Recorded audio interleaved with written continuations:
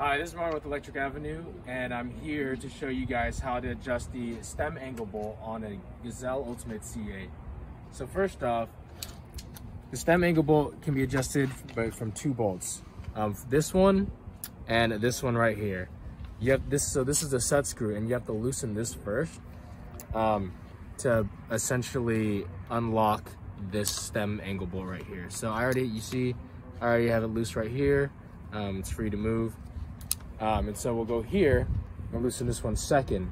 And I'll show you here, when you loosen this bolt here, and it's already loose, you'll be able to see the splines inside of the stem right here.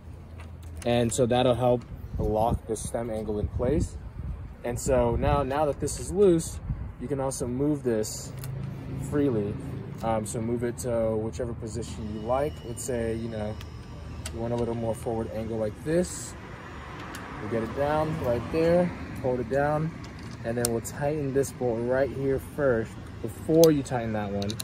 Um, so we'll tighten this down and I'll show you right here. And uh, as this gets, as this closes in, um, you can see the spine start to line up. So you wanna make sure you jiggle this, the handlebars here um, to ensure that the splines are all aligned. I'll tighten that down for a little bit. And now as you can see here, there, um, this stem bolt has a 15 to 18 newton meter torque rating. And so if you do have one of these, you should get a torque wrench. Um, set it to 15 to 18, depending on, you know, how much torque you want. Um, 18 for, you know, on the heavier side, 15 for the lighter side. Um, and I'll take it here and then torque it down. And then you hear that click right there? It's at 15, so we're good. Um, and if you don't have a torque wrench, you can just use the five millimeter that we were using earlier and um, stick it in, make sure it's nice and snug. And then you can pull up or push down with your hand at the end of the arm here. And that should be about 15 Newton meters. As you can see here, I can't really move it much anymore. Um, so we're at 15. Okay, so the stem angle bolt is good. And now we want to go here and we want to tighten the set screw down um, now that this is in place. So I can tighten that down here. And this is a four millimeter um, Allen key, by the way. Um, so we'll tighten this down nice and snug with just the tool here. But as you can see again, this has a torque rating of six to eight newton meters. So I'm gonna get the same torque wrench, but with a four millimeter um, Allen key head.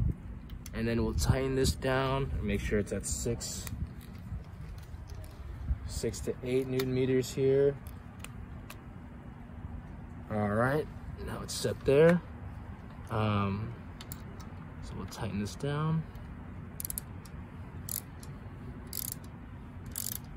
All the way.